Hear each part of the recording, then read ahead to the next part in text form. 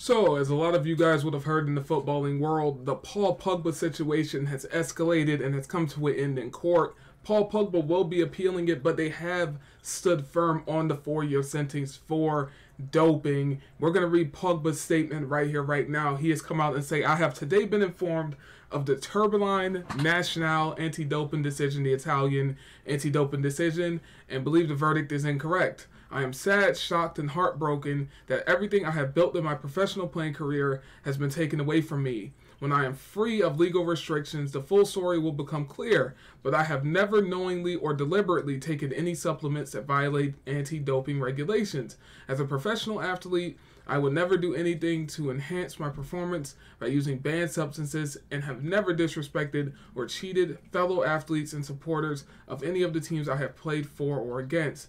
As a consequence of the decision announced today, I will appeal this before the Court of Arbitration for Sport. So Paul Pogba, the Court of Arbitration for Sport, he's going to go and appeal it, but they have stood firm on the four-year sentencing. They basically found him guilty of doping. Now Pogba came out in this statement and said that he didn't know that he was doing the doping stuff. Honestly, guys, let, us keep it a buck, right? These guys are playing at a top level. They're playing at a top level professionally he is not the only one doing this stuff. I like he's the one that's getting the most traction and shine on it because he got caught in it. But he's not the only one doing this, guys. I'm pretty sure I heard something come out with Liverpool having some stuff, Man City's. He, he, bro, there's so many players probably doing some type of enhancement or whatever. Like, like let's get real. Even in other sports as well, it don't matter. You know, this kind of um, goes into the Lance Armstrong thing as well because Lance Armstrong, he swore in the court or whatever. He said that he didn't dope, um, do any doping or whatever, or take any um, performance enhancing drugs.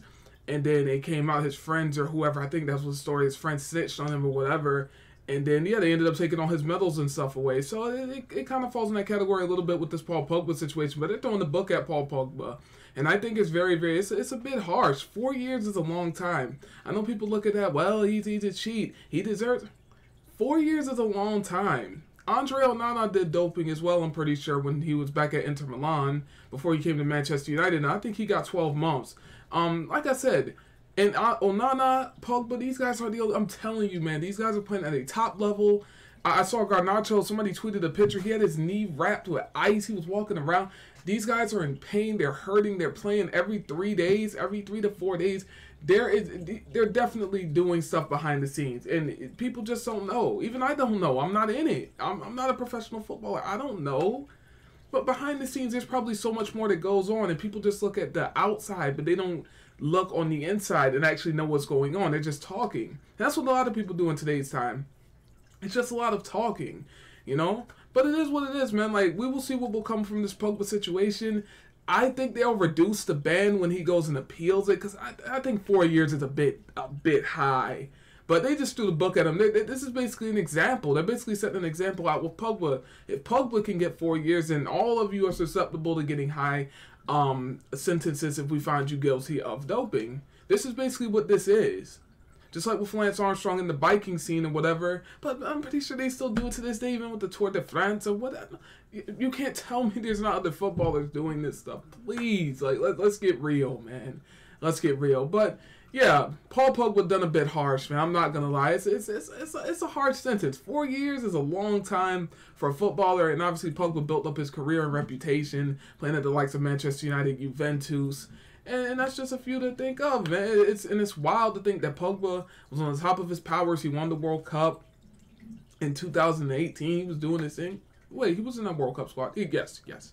I had to think back for a second, but yeah, the thing he came from winning the World Cup, playing at Man United in that dream team with Ronaldo, Greenwood, bro. We had the squad, and and to think he's in this little sticky situation right here, and then he had to um, back I think it was what a year or so ago. The, the, the his brother put witch doctor on him or so. It was, it was some crazy stuff. Pogba, I, I, don't know what's going on on Pogba's camp, man. It seems like you know he's going through it a little bit, man. But that's how it is when you're at the top of elite sport, man. This is this is just how it is. But please, man, don't don't think that Pogba, Onana, any any of these few guys that they bring out to the media are the only ones doing this stuff you know, because they did find Pogba. But don't think these guys are the only ones. Trust me, there's a lot more going on behind the scenes than people think and know. And Pogba is not the only one doing this. He's just a big name that got caught. So I want you guys to let me know down below what you guys think of the verdict in the situation. Do you think it's done harsh? Do you think he got done harsh? Or do you think it's fair? I would love to hear your comments down below in the comment section of what you think about this. Speaking with that, you guys smash the like button, comment, and subscribe down below.